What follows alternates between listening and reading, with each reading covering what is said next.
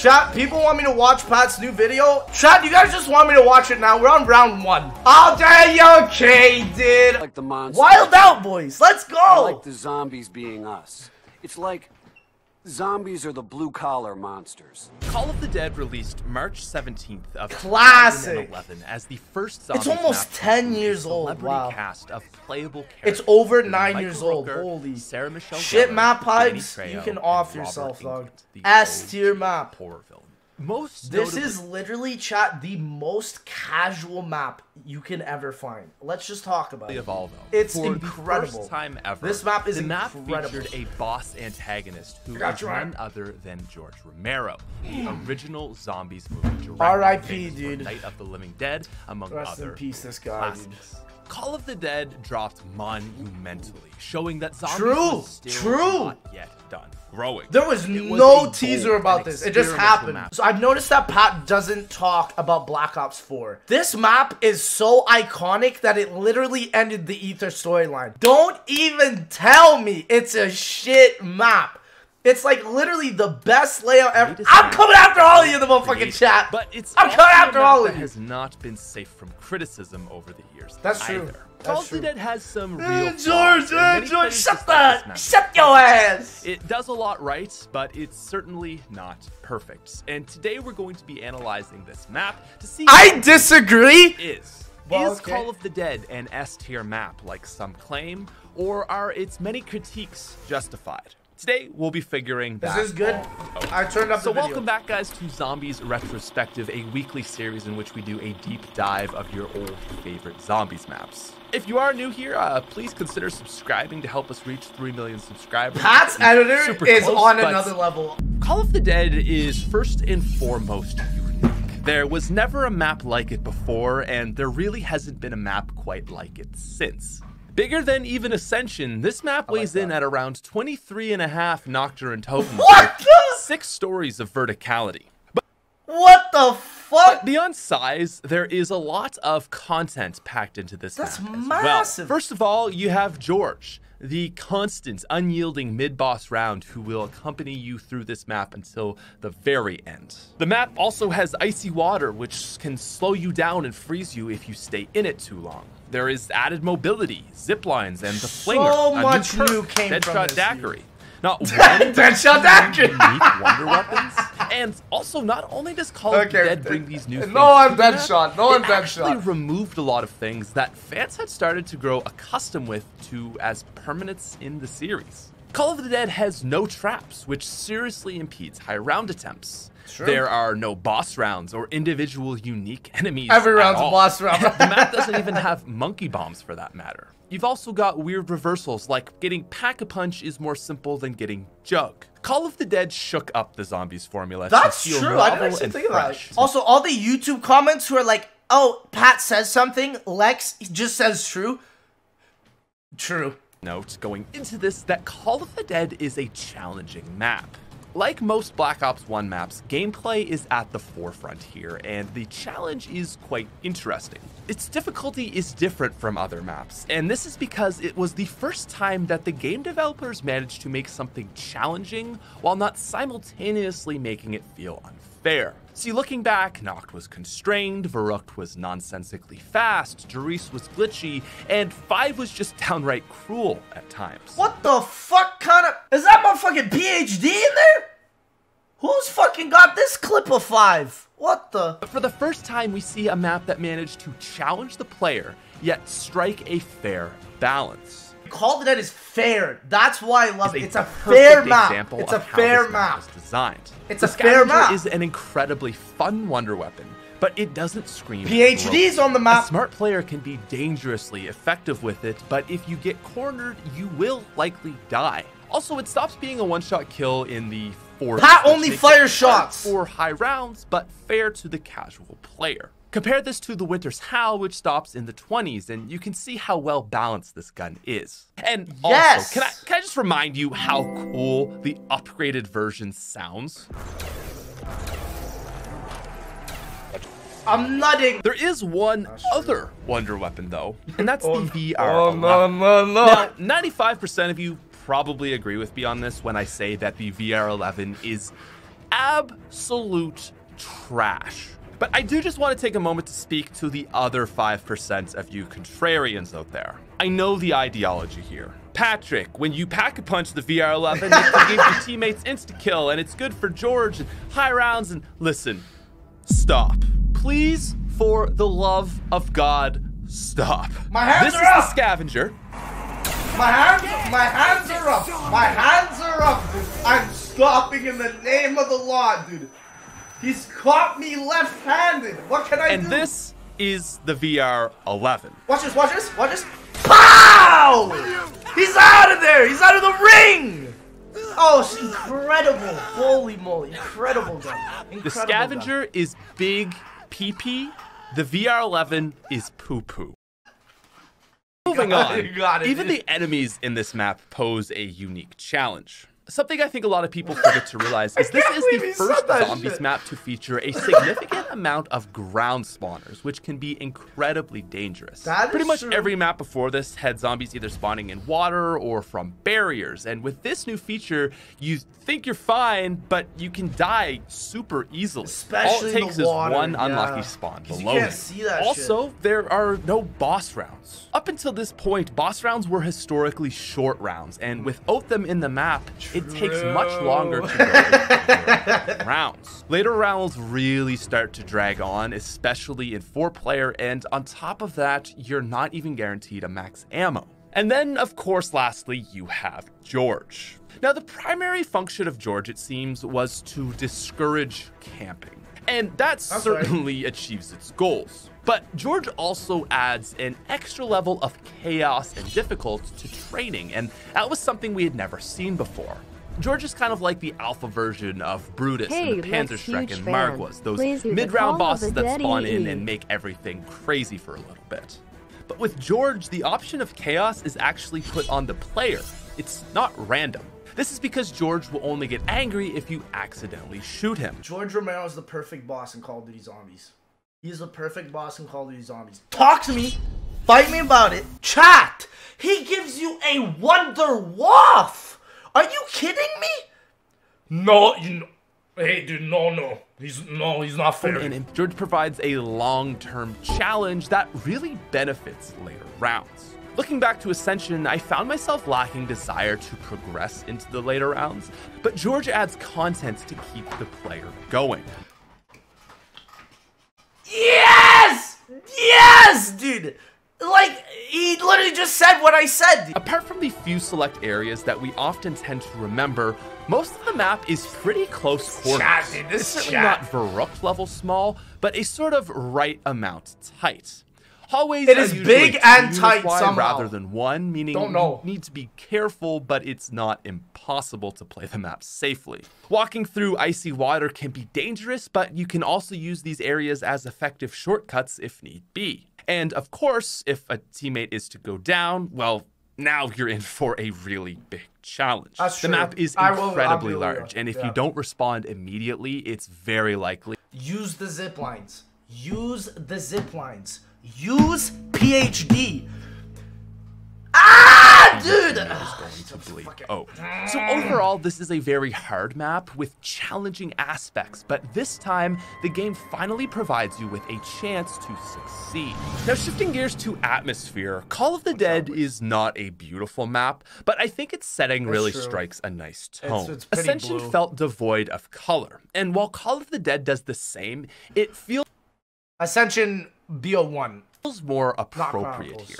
Maybe that's just the Canadian in me talking, but I feel like it gets away with a bad color scheme since it's setting Maybe forth that's why I like it too, Chad. I'm Canadian. I don't know. There's something going on with what he just said here. First and foremost, the lighthouse makes an incredible centerpiece to the map and also serves a nice function to show the location of Yes, Counterpunch. yes, The boats yes. are a little boring, but they at least provide a different area from snow and water. And Call of the Dead also has fun little details. There really is nothing else to say about the boats. They really, they, they suck. up the anchor chain near Mule Kick. It's little things like You that that show you that! how Look went above and beyond when making this map.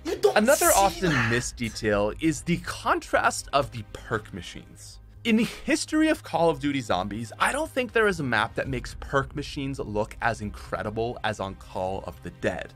You've got this bleak, dead, frozen wasteland, yet scattered around the map are these little pockets of hope. We've also got a great Easter egg. While Ascension's Easter egg was great at the time, looking back, it kind of feels like Weenie Hut Jr., where Call of the Dead steps it up, and this is an Easter egg that can still stand on its own today. It is quite simple with a world record solo run of only seven minutes that involves flipping switches and locating bottles of vodka, but Class! they are interesting It's class! You're basically just assisting the main crew and getting the golden rod while they are stuck in a bunker. This dynamic makes for a really It's funny, funny situation with some incredible dialogue. Yes. Also, a submarine pops out of the water at one step, and on top of that, you get an amazing reward for beating it. The Wonder Waff returns. And this also makes it so that every time you kill George from now on, you get the Waff instead of the Death Machine. I mean, I would have preferred if we just got to keep the Wonder Weapon rather than it expire, but That's it still is a nice touch.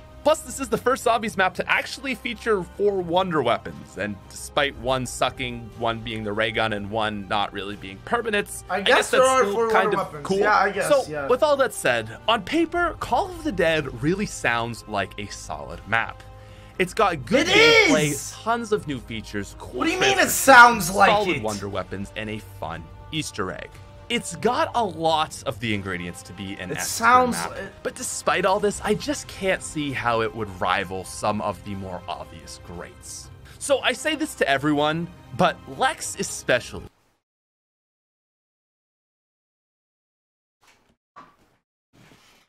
It's the guy back there, bro. It's the guy back. know you're watching this, and I know you love Call of the Dead. It's a strong map, but there is no way it deserves a spot up with the greats. Dude, you can't just say that. You can't just you can't just say that. There's no way you can just say that. You can't just say that. We're 12 minutes in the video. You, you can't just say that, dude. You literally can't just say that, dude. You're about to make a grown man cry right here, dude. Grown man's about to cry on stream right now for his favorite Call of Duty Zombies. oh, Pat, you better whip out the fucking Declaration of Independence on this one. Oh, we better whip S out. tier is a top tier, Yo, above and beyond. And in order to make it there, you gotta be truly special. Bring an insane amount of innovation to the table, be packed with new content, have compelling storyline, and do all this with few mistakes that detract from the experience. Wow, he just described Call of the Dead. Call of the Dead is great, but it doesn't quite hit all of those keys. And so if it's not S tier, then what is it? Yo, this full bot. My biggest issues with Call of the shit. Dead share a very common theme that I see throughout all of Black Ops 1 Zombies. For example, in our Kino retrospective, I highlighted my gripes with the weapon mechanics of the game and how most guns don't have enough ammo to be useful. But there are also little things related to each and every map. 5 has a terrible wonder weapon, but it could have been fine if they just made it kill for longer. Ascension's monkeys are a ah, nightmare to deal with in solo, but could have been easily Fixed in Chronicles with the maybe First of all, you know we gotta talk about the fog. As I went on and on Okay, about how okay, okay, this map can look, I'm up, sure you were bring all it up. thinking about the fog. So yeah, 50% of the time, this map looks thematically appropriate, for sure. But the other 50% of the time, well, it doesn't really look like anything at all. It's just gray. See, the fog is actually a great How he gonna say that? When Origins got the same thing too! great idea that makes sense given the location. The problem with it, however, is that you can't make it go away. It just comes and goes as it pleases. Forever. There is nothing true. you can do about it, and you're just It comes and goes, at though. gray for no reason. I the guess. fog is the biggest issue with the map, and the reason it bothers me so much is again how it was implemented. It's not the feature as a whole, but it's the way it was implemented. And like a lot of things with Call of the Dead, I Chat, so I will tell you something that I was told to me when I was at Treyarch that I think I can say. Apparently, Call the Dead was one of the hardest maps for Treyarch to ever push out ever. Like it was it was like one of the maps that was so graphically intensive and it's the exact like call the dead was kind of like transit 1.0 or like the first transit in a way where it's like they literally had to use the fog to patch up the way the map looked because there's no way they could have fit all that on xbox 360 The total grayness would actually work more effectively in those early rounds, but I just think it would be so satisfying to have players turn on power and get like a 50% boost in visibility, but not a full boost in visibility. I, as you know i can agree with that i can agree with that and no, see, if you want to go full visibility, why not make it so upon killing George for the first time, the map is bright for the rest of the game? This would only add to the satisfaction in beating him. That would be pretty and cool. actually give you control over the weather. Seeing nothing but gray time and time again. that's actually a really I don't like idea it, and it takes away from an otherwise visually appealing map. I think giving players the control to permanently remove fog would have made the map significantly more enjoyable. But Call of the Dead also has some other serious flaws beyond visuals. The map is poorly laid out. Here we go, dude. I knew he was gonna whip it out. 16 18, dude. 16 18. I knew he was gonna whip it out. I I have to be honest, chat. I have to be honest. I fully object this statement. I fully object this statement. I think Call of the Dead's layout is perfect. I think it's literally perfect. Sure, you have to. Sure, you have to run around. Mm, around. Yeah, yeah, yeah, yeah. You guys, yeah, you guys don't like running around on Call of Dead, but you like running around on Transit, yeah? On Transit, yeah? The the map where you literally have to be Usain motherfucking Bolt to go anywhere. Okay, dude. Dude, chat, we love. You know what, chat? We love that for you, bro. Love that. Call of the Dead you. is not only massive, but there are many one way paths, and because of this, you're often Tog fix this. Tog fix this. forced to do a lot. But I didn't even think it was that big of a Sometimes you're staring at the place you want to go, but there will be a gate in the way, so you have to go all the way around to move what was only five feet. While I appreciate the awareness Pat, just don't fucking jump down. Just go off the other way, dude. Brought Like, with the zip lines and flinger, down, there simply aren't enough of them. And on top of that, they're not even really placed in great spots. Like the top of the lighthouse, for example. Yeah, it's a nice way to escape, but how often is that actually a practical way to use to get around the map? There's two things that you can do on the top of the lighthouse when you go off. You can either take the zip line, right? You either take the zip line. Yeah, take the zip line. Or you can get fucking PhD and jump off the goddamn tower. What do you mean, dude? It's the same thing. Oh my god, dude. Uh, What do you mean? I don't even. Dude, and they're literally in the best spots ever. You want to talk about bad fucking movement placement in a map? Look at Zetsubo no Shima. Who the fuck uses that sewer pipe? Or the zip line in Zetsubo? And even on that note, there's just some things that aren't placed in good locations. Hi. I gotta pump, I Take Jug, pump. for example. Now, it makes sense to have a non necessary perk like, say, Mule Kick over there, but I just don't understand why they had to put Jug that far away. From spawn, it takes seven doors to open it, which is just really tedious, especially having to continually go back there Because it's the best perk in the game. That's why, dude. Jug location is ass. Well, that's the point. get it over and over. So the mobility additions do help the flow of Call of the Dead, but they are nowhere near enough to make up for what is otherwise a poorly laid out map. But of course, finally, this retrospective would not be complete without a George hate piece. Now, I will be open. I am in the camp of people who like George, but I can understand why he there's always got to be a but, huh, Pat? There's always got to be a but. There's always. You, you, I like George, but yeah, okay. isn't Okay. unanimously a beloved boss. But instead of going on about his flaws, I think it will be better to look at how he could have been improved. So I think the biggest issue people have with George is that he never goes away. Round 1, round 80, it doesn't matter. He's there. And even when you kill him, he's coming back an extra round. This is That's why he's coming back, annoying, so- and this is why players hate him. They just need some time alone. So this leads me to thinking that maybe Just need some time alone. What is this, dude? What, is, what type of video is this? Just need some time alone. We just need some time alone. Okay, dude. Go go have your time alone on Kino fucking Dertone. Get the fuck out of Call of Dead, dog. Get the fuck out of Call of Dead, bro. Call of the Dead would have benefited from George not having to spawn back once you beat him. Imagine if he was like the Ender Dragon from I might have to leave this video. We're talking George Romero, how he's the Ender Dragon. Minecraft. Which, oh, by the way, have you subscribed to my No, that was only for his second channel. It was all promotion. We got baited. Minecraft no. Link in the description.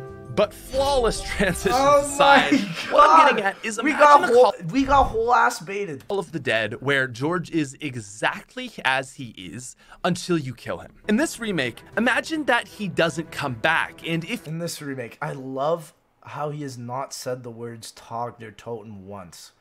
Boys, Black Ops 4 does not exist. Let's go, boys. If you wish it, he can be gone for the rest of your run.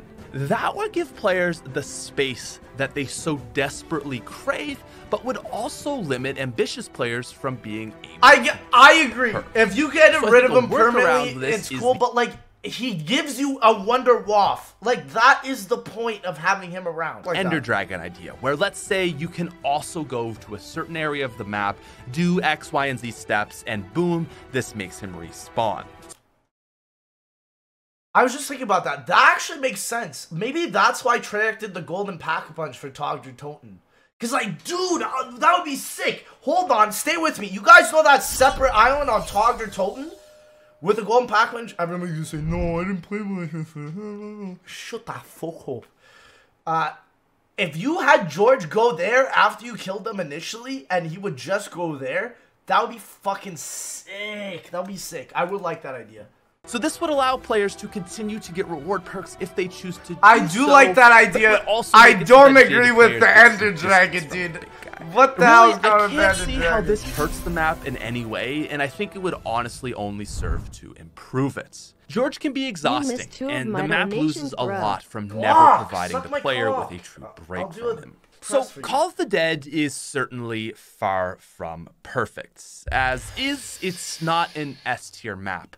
But even What the Fuck, did you just say it's not S tier map? Even with these changes made, I don't think it deserves that. It would certainly make it closer to being one, but I just don't think Call of the Dead has the innovation, storyline, or deep gameplay to put itself in that tier. I mean, really, how great are the characters on this map? Sure, as actors, they're super cool, It's and true. they were only On the map, they're kinda whatever. out, They're but I kinda just don't think these four have I swear to- if he puts this shit in like F some of tier, I'm other about to characters lose we it. get to see. They aren't remembered like the one-off greats such as JFK, Sal DeLuca, It's Al true. Arlington, It's because all three of the all. Th- or Jessica Rose. okay, maybe not Jessica Rose, but all three of the other characters before that, they actually have iconic lines. I don't know about Jessica Rose. What the fuck she say that made anybody remember? It's got great replayability, and to me, it really feels like the first full map. You can go for eight. It's true. It feels actually like a BO3 Just have map, a fun which is why they remastered it, I with- think. My final rating for Call of the Dead is an 8.6 out of 10. A tier. Yo! Let's go, dude! Exactly where it belongs. If you believe, oh, dude, it's true. It's true. Like, sure, I would put it in S because I think it's literally one of the best maps ever made.